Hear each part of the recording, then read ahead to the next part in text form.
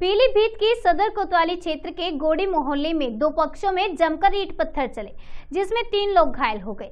सूचना पर जिलाधिकारी व एसपी भारी पुलिस फोर्स के साथ मौके पर पहुँचे और उपद्रवियों को घरों से निकालकर हिरासत में ले लिया। इस मामले में एक दर्जन लोगों को पुलिस ने गिरफ़्तार किया है। पुलिस का कहना है कि स्थिति कंट्रोल में है।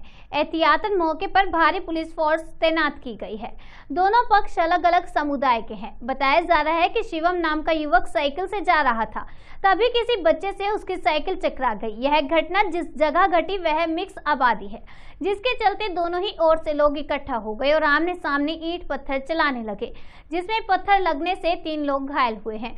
सूचना पर आनंद फानन में जीएम व एसपी पहुँचे और लोगों को खदेड़ा। फ़िलहाल पुलिस का कहना है कि स्थिति नियंत्रण में है। दोनों ही ओर से लगभग एक दर्जन लोगों को गिरफ़्तार किया गया है। दो पक्षों में कुछ झड़प हो गई। किस तरह का मामला था? ये मोहल्ला देश नगर गोड़ी है कोतवाली थाना के अंतर्गत।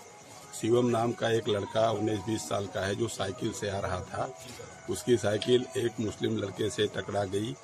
इस पर उसने उस लड़के ने उसको पीट दिया और रोता हुआ चिल्लाता हुआ आके अपने घर बताया इधर से जो है चार छह लोग गए, कुछ मारपीट हुई, सिर्फ़ पथराव हुआ।